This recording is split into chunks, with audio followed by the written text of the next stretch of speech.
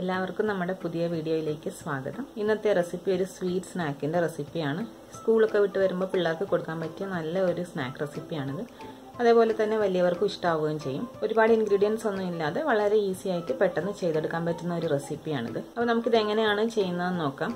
അപ്പോൾ നിങ്ങൾക്ക് വീഡിയോ കണ്ടുകൊണ്ടിരിക്കുന്ന സമയത്ത് ഇത് ഇഷ്ടമാവുകയാണെന്നുണ്ടെങ്കിൽ ഒന്ന് ലൈക്ക് ചെയ്യണം. അതുപോലെ തന്നെ ഫ്രണ്ട്സിനും ഫാമിലിക്കും ഒക്കെ ഒന്ന് ഷെയർ ചെയ്ത് സപ്പോർട്ട് ചെയ്യുക. പിന്നെ ഈ ചാനൽ ആദ്യമായിട്ടാണ് ആരെങ്കിലും കാണുന്നതെങ്കിൽ ഒന്ന് സബ്സ്ക്രൈബും കൂടെ ചെയ്ത് സപ്പോർട്ട് ചെയ്യുക.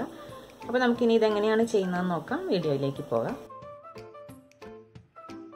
ഇതിന് വേണ്ടിയിട്ട് ഞാനിപ്പോൾ ആദ്യം ശർക്കര എടുത്തിട്ടുണ്ട്. നമുക്ക് മധുരത്തിന് ആവശ്യത്തിനനുസരിച്ചിട്ടുള്ള ശർക്കര ചേർത്ത് കൊടുക്കാം. ഞാൻ ഇന്നിപ്പോൾ അളന്നെടുത്ത് വെച്ചതാണ്. ഒരു മുക്കാൽ കപ്പ് ശർക്കരയുണ്ട്. അത് നമുക്ക് ഈ ഒരു ബൗളിലേക്ക് ആഡ് ചെയ്ത് കൊടുക്കാം. അപ്പോൾ ചില ശർക്കരയിൽ നല്ല പൊടിയും അഴുക്കും ഒക്കെ കാണും. അപ്പോൾ ഡയറക്റ്റ് ചേർത്താൽ അതൊക്കെ ആ പലഹാരത്തിലും പിടിക്കും. അതുകൊണ്ട് നമുക്കിതൊന്ന് അരിച്ചിട്ട് വേണം എടുക്കാനായിട്ട്. അപ്പോൾ നമുക്കിതിന് ഇനി ശർക്കര ഒന്ന് അരിച്ചെടുക്കണം. അതിന് വേണ്ടിയിട്ട് ആദ്യം നമുക്ക് ഈ ശർക്കര ഒന്ന് പാലിൽ മിക്സ് ചെയ്തിട്ടെടുക്കാം ഞാനിപ്പം നമ്മൾ ശർക്കര എടുത്ത അതേ കപ്പിന്റെ അളവിന് ഒരു കപ്പ് പാൽ തിളപ്പിച്ചാറിയ പാലാണിത്. ഇത് അളന്ന് വെച്ചതാണ്. ഇത് നമുക്കിതിലേക്ക് ആഡ് ചെയ്ത് കൊടുക്കാം. ഈ ശർക്കരയും പാലും കൂടെ നന്നായിട്ട് ഒന്ന് മിക്സ് ചെയ്ത് യോജിപ്പിച്ചെടുക്കാം. അപ്പോൾ ശർക്കര ഇതിലായിട്ട് നന്നായിട്ട് മിക്സ് ആയിട്ട് കിട്ടണം. അപ്പോഴാണ് നമുക്കിത് അരിച്ചെടുക്കാൻ പറ്റുന്നത്.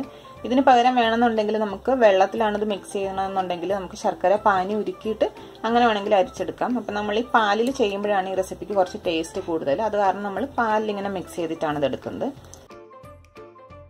ഞാനിപ്പോൾ അത് നന്നായിട്ടൊന്ന് മിക്സ് ചെയ്തെടുത്തിട്ടുണ്ട്. ഇനി നമുക്കിതൊരു അഞ്ച് മിനിറ്റ് നേരത്തേക്ക് മാറ്റി വെക്കാം. അപ്പോൾ നന്നായിട്ടൊന്ന് അലിഞ്ഞ് കിട്ടും ഈ ശർക്കര. നമ്മൾ തിളപ്പിച്ച പാൽ ചെറിയ ചൂടോട് കൂടിയിട്ടാണ് ഒഴിച്ചു കൊടുക്കുന്നതെന്നുണ്ടെങ്കിൽ നമുക്ക് കുറച്ചും കൂടെ വേഗം ഇത് നന്നായിട്ട് അലിഞ്ഞ് കിട്ടും. അഞ്ച് മിനിറ്റ് നേരത്തേക്ക് ഇത് അടച്ചു വെച്ച് മാറ്റി വയ്ക്കാം ശർക്കര ഒന്ന് മിക്സ് ആയിട്ട് വരുന്ന നേരം കൊണ്ട് നമുക്ക് ബാക്കി ഇൻഗ്രീഡിയൻസ് ഒക്കെ എടുത്ത് വയ്ക്കാം ഞാനിപ്പോൾ ഒരു ഇതേപോലെ കുഴിഞ്ഞ ഒരു ബൗൾ എടുത്ത് വെച്ചിട്ടുണ്ട്. ഇതിലാണ് നമ്മൾ മാവ് കലക്കി എടുക്കുന്നത് അപ്പോൾ അതിന് വേണ്ടിയിട്ട് ഞാൻ എടുത്തിട്ടുള്ളത് അരിപ്പൊടിയാണ്. നമ്മൾ അപ്പത്തിന് ഇടിയപ്പത്തിനൊക്കെ എടുക്കുന്ന ഫൈനായിട്ടുള്ള അരിപ്പൊടിയാണ് എടുത്തിട്ടുള്ളത്. അപ്പോൾ ചെറുതായിട്ട് തരികളൊക്കെ ഉള്ള അരിപ്പൊടിയാണെന്നുണ്ടെങ്കിൽ ഇതൊന്ന് അരിച്ചിട്ടെടുക്കണം. അപ്പോൾ നല്ല നൈസ് ആയിട്ടുള്ള പൊടി ആയതുകൊണ്ട് തന്നെ ഞാനത് അരിക്കുന്നില്ല. ഇതിൽ ഡയറക്റ്റ് ചേർത്ത് കൊടുക്കുകയാണ്. നമ്മൾ ശർക്കര എടുത്ത അതേ കപ്പിന്റെ അളവിന് അളന്നെടുത്ത് വെച്ചതാണിത്. ഒന്നര കപ്പ് അരിപ്പൊടിയാണ് എടുത്തിരിക്കുന്നത്. അതേപോലെ തന്നെ കാൽ കപ്പ് ഗോതമ്പൊടി വേണം. ഗോതമ്പൊടിക്ക് പകരം മൈദ വേണമെങ്കിലും ചേർത്ത് കൊടുക്കാം. അപ്പം ഞാനിപ്പോൾ ഗോതമ്പൊടിയാണ് എടുത്തിട്ടുള്ളത്. കാൽ കപ്പാണിത് അതും കൂടെ ആഡ് ചെയ്യാം. ഇനി ഫ്ലേവറിന് വേണ്ടിയിട്ട് നമുക്ക് ഏലക്കപ്പൊടി ചേർത്ത് കൊടുക്കാം.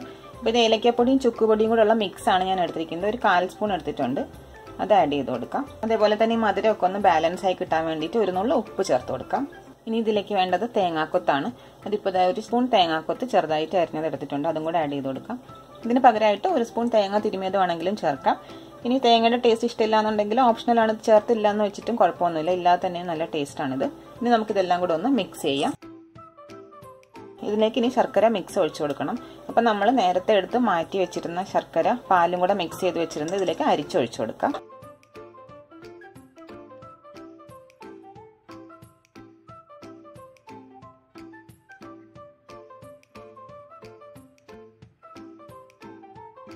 ഇപ്പോൾ നമ്മുടെ ശർക്കര മിക്സും കൂടെ ഞാൻ ഇതിലേക്ക് ആഡ് ചെയ്ത് കൊടുത്തിട്ടുണ്ട്. ഇനി നമുക്കിതൊന്ന് മിക്സ് ചെയ്തെടുക്കാം. ഇതാ നമ്മുടെ മാവ് ഇവിടെ മിക്സ് ചെയ്തെടുത്തിട്ടുണ്ട്. കുറച്ച് ടൈറ്റ് ആയിട്ടാണ് മാവ് ഇരിക്കുന്നത്. അപ്പോൾ ഇതൊന്ന് ചെറുതായിട്ട് ലൂസ് ആക്കിയിട്ട് എടുക്കണം. അതനുസരിച്ചിട്ട് കുറേശ്ശെ പാൽ ചേർത്തിട്ട് നമുക്കിതൊന്ന് ലൂസാക്കിയിട്ട് കലക്കിയെടുക്കാം. ഒറ്റയടിക്ക് പാൽ ചേർത്ത് കൊടുക്കരുത്. നമ്മൾ ആദ്യം എടുത്ത ഒരു കപ്പ് പാലിന് ഈ ഒരു രീതിക്കാണ് ഇത് മിക്സ് ചെയ്തെടുക്കാൻ പറ്റുന്നത്. പിന്നെ നമ്മൾ വീണ്ടും കാൽ കപ്പ് ഒറ്റയടിക്ക് ഒഴിച്ചു കൊടുത്താൽ ചിലപ്പോൾ മാവ് ലൂസായിട്ട് പോകും. അപ്പോൾ കുറച്ച് കുറച്ചായിട്ട് ഒഴിച്ചിട്ട് മിക്സ് ചെയ്ത് നോക്കുക.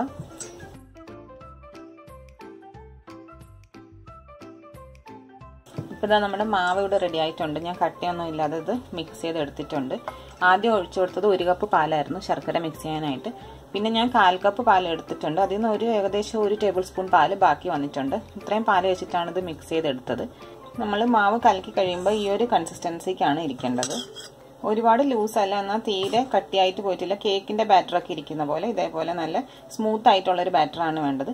ഇനി നമുക്കിതൊന്ന് അടച്ച് വെച്ചിട്ട് ഒരു ഇരുപത് മിനിറ്റ് നേരത്തേക്ക് മാറ്റി വെക്കാം. അതിനുശേഷം ഇത് മിക്സ് കട്ടിയായിട്ട് പോകുന്ന പോലെ തോന്നുകയാണെന്നുണ്ടെങ്കിൽ കുറച്ചും കൂടെ പാൽ ബാക്കി ഇരിക്കുന്ന ഈ കാൽ കപ്പിൽ ബാക്കി വന്ന ഈ ഒരു ടേബിൾ സ്പൂൺ പാലും കൂടെ ചേർത്ത് നമുക്ക് അഡ്ജസ്റ്റ് ചെയ്തെടുത്താൽ മതിയാവും. ഇനി നമുക്കിതൊന്ന് അടച്ചിട്ട് മാറ്റി വെക്കാം. ഒരു ഇരുപത് മിനിറ്റ് നേരത്തേക്ക് ഇതിങ്ങനെ ഇരിക്കട്ടെ. ഇപ്പം അവിടെ ഇരുപത് മിനിറ്റ് ആയിട്ടുണ്ട്. നമുക്കിനി ഈ അടപ്പൊന്ന് മാറ്റി നോക്കാം. മാവ് ഇപ്പോൾ ഒരുവിധം നല്ല കൺസിസ്റ്റൻസിയിൽ തന്നെയാണ് ഇരിക്കുന്നത്. ഒരുപാട് ലൂസ് അല്ല അതുപോലെ തന്നെ ഒരുപാട് തിക്കല്ല അപ്പോൾ ഞാൻ ഇനി ഇതിലേക്ക് എക്സ്ട്രാ പാലൊന്നും ചേർത്ത് കൊടുക്കുന്നില്ല. അപ്പോൾ നമ്മുടെ അരിപ്പൊടിക്ക് അനുസരിച്ചിട്ട് അതിനൊക്കെ കുറച്ച് മാറ്റം വരാം. അപ്പോൾ നിങ്ങൾക്ക് മാവ് കുറച്ചും കൂടെ തിക്കായിട്ട് തോന്നുകയാണെന്നുണ്ടെങ്കിൽ നമ്മൾ ബാക്കി നേരത്തെ എടുത്ത് മാറ്റി വെച്ചിരുന്ന തിളപ്പിച്ചാറിയ പാൽ ഒഴിച്ചിട്ട് അത് കലക്കി അഡ്ജസ്റ്റ് ചെയ്തെടുക്കുക. അപ്പോൾ ഇപ്പോൾ ഇത് ഇത്ര മതിയാവും. ഇനി ഞാൻ ഇതിലേക്ക് ബേക്കിംഗ് സോഡ ബേക്കിംഗ് പൗഡർ ഒന്നും തന്നെ ചേർക്കുന്നില്ല. അതൊന്നും ഇല്ലാതെ തന്നെയാണ് ഇന്ന് ഈ പലഹാരം ചെയ്തെടുക്കുന്നത്. അപ്പോൾ നമുക്കിനി ഇതൊന്ന് വറുത്തെടുക്കണം. അതിനായിട്ട് ഞാൻ എന്താ ഇപ്പോൾ ഇവിടെ എണ്ണ ചൂടാകാൻ വെച്ചിട്ടുണ്ട്. എണ്ണയൊക്കെ നന്നായിട്ടൊന്ന് ചൂടായി വരുന്നിടം വരെ വെയിറ്റ് ചെയ്യാം. അപ്പോൾ നമ്മൾ ചൂടാകാൻ വെച്ചിരുന്ന എണ്ണ നന്നായിട്ട് ചൂടായി വന്നിട്ടുണ്ട്.